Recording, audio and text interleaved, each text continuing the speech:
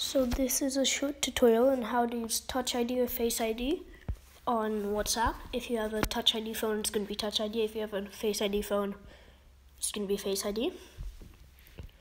Go on that. And as you see, I already have it.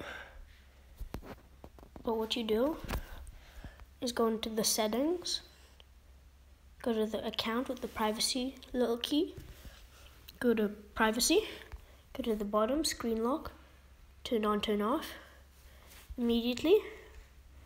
I go out and I go back in, touch ID. I put my finger, it's done.